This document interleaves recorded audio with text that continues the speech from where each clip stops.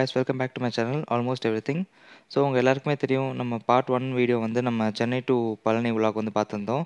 So அதோட continuation தான் அந்த வீடியோ வாங்க நம்ம வீடியோக்குள்ளே போகலாம் இந்த வீடியோவில் நம்ம பழனி டு கோயம்புத்தூர் விலாக் தான் பார்க்க போகிறோம் பழனி கோயிலேருந்து உங்களுக்கு பஸ் ஸ்டாண்ட் வந்து ஒரு fifteen to twenty minutes walk பண்ணிங்கன்னா ரீச் ஆகிடலாம் நீங்கள் அப்படி இல்லைன்னா நீங்கள் ஆட்டோ இல்லை குதிரை வண்டி நான் ஆல்ரெடி சொன்ன மாதிரி ஃபஸ்ட்டு வீடியோவில் சொன்ன மாதிரி குதிரை வண்டி கூட அவைலபிளாக இருக்குது ஸோ நீங்கள் அதில் கூட ரீச் ஆகிடலாம் நம்ம வந்து இப்போது பழனி பஸ் ஸ்டாண்ட் வந்தாச்சு. பழனி டு கோயம்புத்தூர் வந்து ஒன் ஆர் சிக்ஸ் கிலோமீட்டர்ஸ் வந்து உங்களுக்கு மேப்பில் காமிக்குது. ஸோ டிராஃபிக்லாம் இல்லைன்னா நீங்கள் கரெக்டாக ஒரு டூ ஹவர்ஸ் தேர்ட்டி மினிட்ஸில் ரீச் ஆகிடலாம் ஸோ போகிற வழி ஃபுல்லாகவே உங்களுக்கு வந்து இந்த மாதிரி விண்மில்ஸ் எல்லாம் பார்ப்பீங்க. ஸோ நீங்கள் எல்லாருமே நோட்டீஸ் பண்ணியிருப்பீங்க ஹைவேல போகும்போது பெரிய பெரிய ட்ரக் லாரிஸ்லலாம் உங்களுக்கு இந்த விண்மில்ஸோட பிளேடு வந்து கொண்டு போவாங்க. ஸோ ஒரு ஒரு பிளேடுமே உங்களுக்கு வந்து டென் டு டுவெல் டன்ஸ் வந்து இருக்கும். ஆக்சுவலாக அந்த மூணு பிளேடுமே கனெக்ட் ஆகிற போர்ஷன் வந்து நாசல்னு சொல்லுவாங்க. எல்லோரும் நினச்சிருப்போம் இந்த விண்மில் வந்து காற்றுனால தான் வந்து உங்களுக்கு எலக்ட்ரிசிட்டி வந்து ப்ரொடியூஸ் பண்ணுதுன்னு ஆனால் அதான் இல்லை.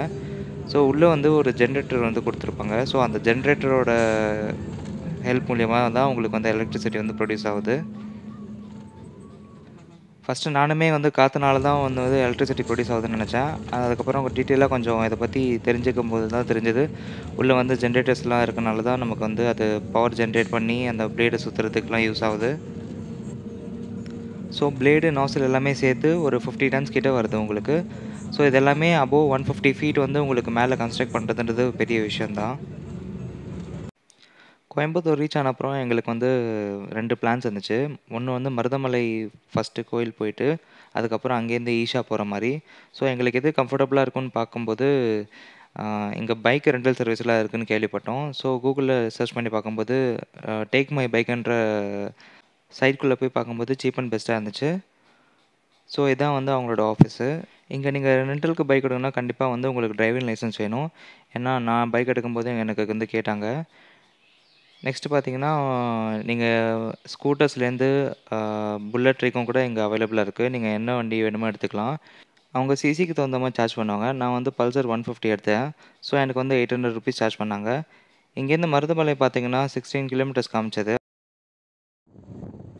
இங்கேருந்து நீங்கள் ஊட்டிக்கு கூட பிளான் பண்ணலாம். இந்த மாதிரி பைக் ரெண்டல் சர்வீஸ் வச்சு. ஸோ ஜீவன் பெஸ்ட்டாக உங்களுக்கு முடியும். அதே மாதிரி ரைடர் ப்ளஸ் பில்லியன் வந்து ஹெல்மெட்ஸ் அவங்களே வந்து ப்ரொவைட் பண்ணிவிடுவாங்க நம்ம எடுத்துகிட்டு போகணுன்ற அவசியம் இல்லை. நீங்கள் ஊட்டிக்கெல்லாம் எடுத்துகிட்டு போகணுன்னா கொஞ்சம் ஹை சிசி அப்போது ஹண்ட்ரட் சிசி எடுத்துகிட்டு போனால் உங்களுக்கு பெஸ்ட்டாக இருக்கும்.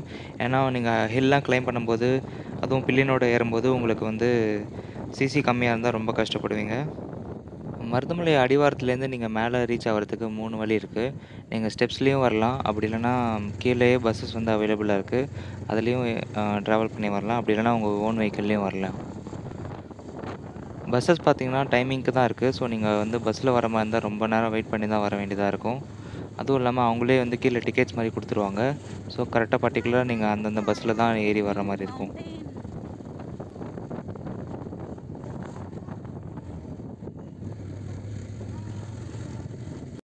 மேலே ஏறின அப்புறம் வியூ உங்களுக்கு சூப்பராக இருந்துச்சு. சண்டே நிறைய கூட்டம் இருக்கணுனால நாங்கள் டக்குன்னு சாமி பார்க்க போயிட்டோம். ஸோ நாங்கள் எக்ஸ்பெக்ட் பண்ண மாதிரியே கூட்டம் கொஞ்சம் அதிகமாக தான் இருந்தது. கோயிலுக்குள்ளே என்ட்ரானோடனே லெஃப்ட்டில் வந்து பாம்பாட்டி சித்தர் குகை கோயில் சொல்லி போட்டிருந்தது. ஸோ அங்கே போகும்போது வந்து ஃபோட்டோஸ் வந்து எடுக்கக்கூடாதுன்னு நம்ம போட்டிருந்தது. இங்கே வந்து பாம்பாட்டி சித்தரோட வரலாறு வந்து இந்த போர்டில் நம்ம வந்து பார்க்குறோம். இதுதான் வந்து மருதமலையோட பார்க்கிங் ஏரியா முருகனை நல்லா தரிசனம் பண்ணிட்டு நம்ம அங்கேருந்து நெக்ஸ்ட்டு கோயம்புத்தூருக்கு போனோம் இங்கேருந்து ஈஷா வந்து டுவெண்ட்டி எயிட் கிலோமீட்டர்ஸ் காமிச்சது. ஒரு ஒன் ஹவரில் வந்து நாங்கள் கோயம்புத்தூர் ரீச் ஆகிட்டோம் இப்போ நீங்கள் பார்த்துட்டு இருக்கிறது வந்து ஈஷா யோகா சென்டரோட என்ட்ரன்ஸு இங்கே வந்து மொபைல் ஃபோன்ஸ் எல்லாமே அலௌட் இல்லைன்னு சொல்லிட்டாங்க. அதுவும் இல்லாமல் சண்டேலாம் ரொம்ப ரஷ் அதிகமாக இருந்தது. சரி ஓகேன்னு சொல்லிட்டு நாங்கள் ஆதியோகி சிவனோட சிலையை பார்க்க போயிட்டோம். யோகா சென்டர்லேருந்து நீங்கள் சிவன் ஸ்டாச்சு பார்க்குறதுக்கு ஒரு ஒன் கிலோமீட்டர் நடக்க வேண்டியதாக இருக்கும். ஸோ இந்த மாதிரி நீங்கள் வந்து மாட்டு வண்டிலாம் யூஸ் பண்ணி நீங்கள் அங்கே ரீச் ஆகிக்கலாம் அங்கே இருக்கிற மாடுங்களுக்கு நம்ம யார் வேணால் அங்கே புல் எடுத்து கொடுக்கலாம். சிவன் ஸ்டாச்சுவை சுற்றிலுமே உங்களுக்கு வந்து ஃபுல்லாக வந்து மலை தான் இருக்கும். ஸோ நீங்கள் நடந்து போகிற டிஸ்டன்ஸ் வந்து பெருசாக உங்களுக்கு தெரியவே தெரியாது. ஸோ அந்த நேச்சரை ரசிச்சிட்டே வந்து நீங்கள் அப்படியே ஃப்ரெண்ட்ஸோட ஜாலியாக பேசிகிட்டே நீங்கள் வந்து ரீச் ஆகிடலாம் இங்கே விசிட் பண்ணுறதுக்கு வந்து பெஸ்ட்டு பிளேஸ் வந்து ஈவினிங் டைம் தான் சொல்லுவேன். ஸோ அப்போ தான் உங்களுக்கு வந்து கரெக்டாக சன்செட் ஆகும். ஸோ அந்த வியூலாம் உங்களுக்கு வேறு லெவலில் இருக்கும்.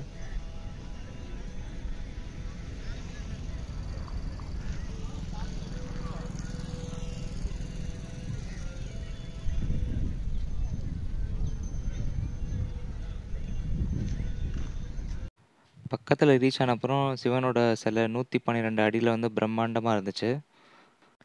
சிவனை பார்க்கும்போது ஒரு பீஸ்ஃபுல்லான ஒரு மைண்டு அதே மாதிரி நல்ல ஆம்பியன்ஸு ஸோ எல்லாருமே நீங்கள் கண்டிப்பாக அங்கே விசிட் பண்ணணும். நெக்ஸ்ட் அங்கே வந்து செவன் ஃபிஃப்டீனுக்கு வந்து ஒரு லைட் ஷோ இருக்குன்னு சொல்லியிருந்தாங்க. அந்த லைட் ஷோ வந்து எல்லா நாளுமே இருக்கும். அந்த லைட் ஷோ பார்க்குறதுக்காக நாங்கள் எல்லோரும் ஒரு டீயை போட்டு வெயிட் பண்ணிட்டுருந்தோம்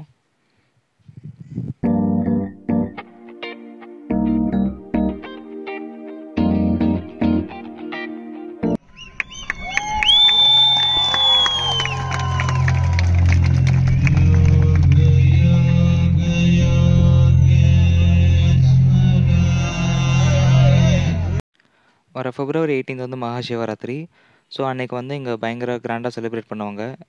என்னோடய வீடியோவில் வந்து அந்த லைட் ஷோவோட எண்டு கிளிப் தான் நான் போட்டிருந்தேன். அதோடய ஃபுல் வீடியோ வந்து நான் போடல. ஏன்னா வந்து உங்களுக்கு வந்து ஃபஸ்ட் டைம் அந்த லைட் ஷோ பார்க்கும்போது அதுவும் நேரில் பார்க்கும்போது தான் உங்களுக்கு அது ரொம்ப எக்ஸைட்மெண்ட்டாக இருக்கும். நீங்கள் ஆல்ரெடி வீடியோவில் பார்த்துட்டீங்கன்னா அது நீங்கள் நேரில் பார்க்கும்போது அதை ஃபீல் பண்ண மாட்டீங்க. இதோட இந்த வீடியோ நான் முடிச்சுக்கிறேன். ஸோ நீங்கள் பார்ட் ஒன் வந்து சென்னை டு பழனி விலாக் பார்க்கலன்னா நான் லிங்க் வந்து டிஸ்கிரிப்ஷனில் கொடுக்கலேன் ஸோ அதுவும் நீங்கள் போய் பாருங்கள் இந்த வீடியோ உங்களுக்கு பிடிச்சிருக்குன்னு நினைக்கிறேன். பிடிச்சிருந்தா லைக் பண்ணுங்கள் உங்கள் ஃப்ரெண்ட்ஸ்க்கு எல்லார்கிட்டையும் ஷேர் பண்ணுங்கள் மறக்காமல் சேனல் சப்ஸ்கிரைப் பண்ணுங்கள் தேங்க்ஸ் ஃபார் வாட்சிங்